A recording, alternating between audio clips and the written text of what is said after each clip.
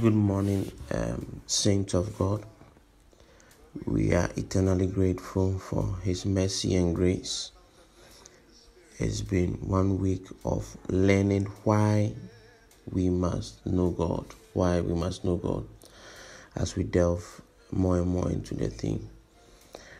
Today, I want to just um, hit on a particular point of why we must know God and it has to do with holiness and consecration. Holiness and consecration.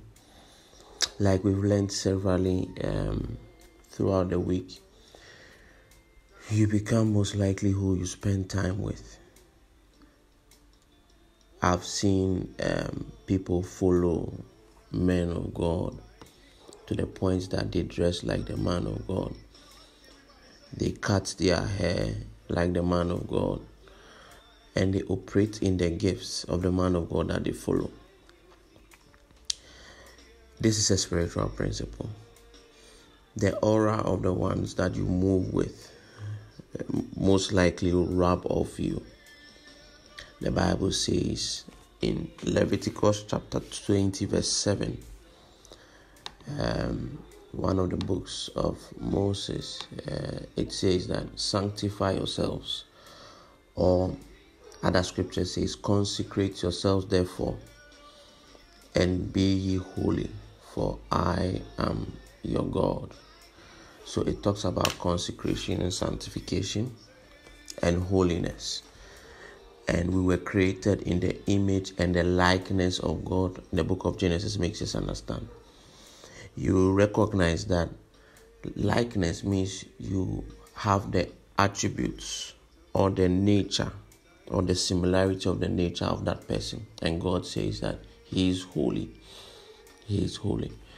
So, in our bid to know God or why we must know God, we must recognize that holiness in experience, we are able to know God in uh, your experience. You don't struggle and you don't feel guilty about the addictions because the addictions have dropped off this is one of the main reasons why you should do that.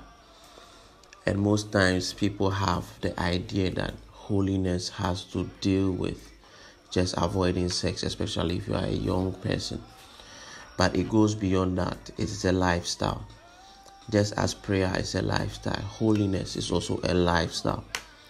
And we can clearly see that in the book of Matthew, chapter 5. Jesus went head on with the spirit of religion, thereby talking about the ways in which we should live. The Bible says in verse 1 of Matthew 5, it says that he went up to the mount and he set his disciples unto him and he began to teach. It's a popular chapter where we see the Beatitudes. But when it comes to verse 21, still as he continues preaching, this is what he said. He said, You have heard that it was said of them of old time, Thou shalt not kill, and whosoever shall kill shall be in danger of judgment.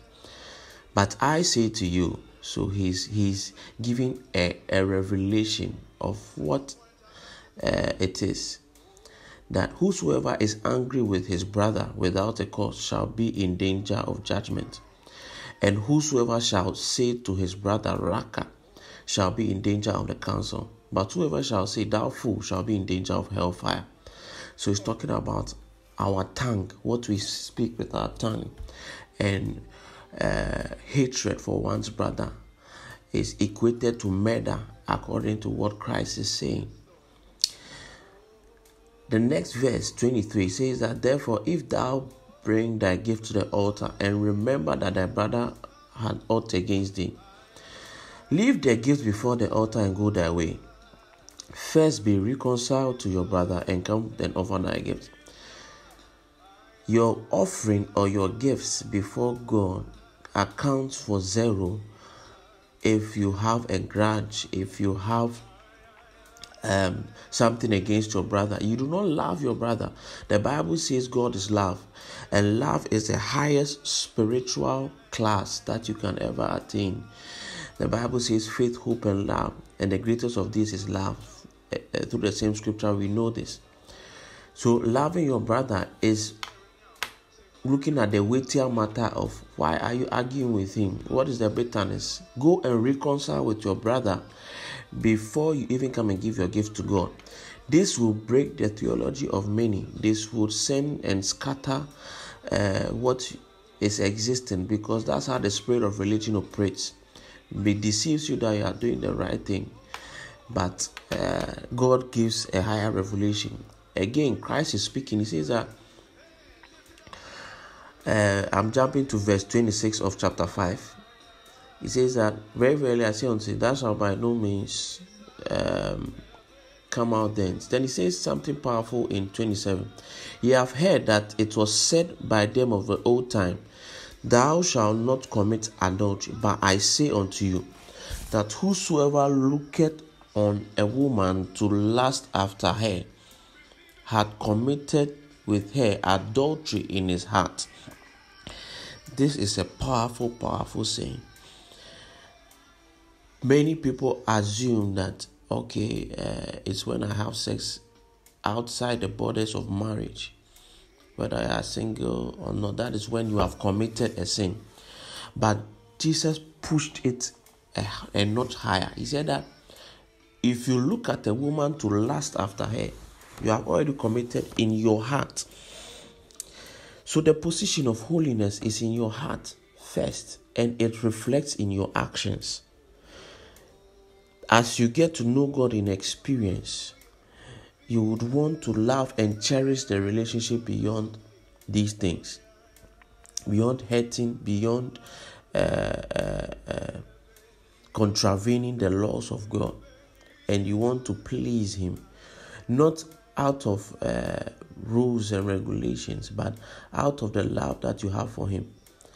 And these are the set rules. Many people do not like rules. But now, even today in COVID times, it's not every country you can visit because uh, you need to have fulfilled certain requirements. If you haven't, you do, cannot enter that country. So, if even the earth is doing this, how much more God? We go through heaven by reason of the sacrifice of Christ Jesus and holiness. The Bible says, For God dwells in unapproachable light. This unapproachable light, we glean from this through the word of God and by obeying His, His commandments. Because we know in Psalm 119 that thy word is a lamp unto my feet and a light unto my path. So you are able to reflect what you are learning and what you are experiencing in your terms of your knowledge of God. Job said, I've made a covenant with my eyes not to look after any woman lustfully. So Job caught this revelation of Christ Jesus that his hands, his eyes, his mouth. So you need to be careful what you say. You need to be careful what you see. You need to be careful what you hear. And this will reflect in the fact that you are separate for the master's use. You are different from the master's use. Titus chapter 2, verse 4 verse, verse 14, I mean, there's a description for a Christian. It says that who gave himself for us, he's talking about Christ Jesus, that he might redeem us from all iniquity and purify unto himself a peculiar people, people zealous of good works. One thing that struck me about this verse is that the Bible is calling Christians peculiar. You are strange to the world because you say that I don't have sex outside the borders of my marriage.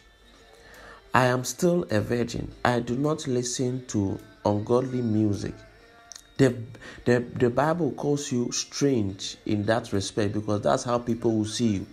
So if you're a Christian, these are some of the things that as you grow in your work with God, you should be able to do by the help of the Spirit and not by your strength alone.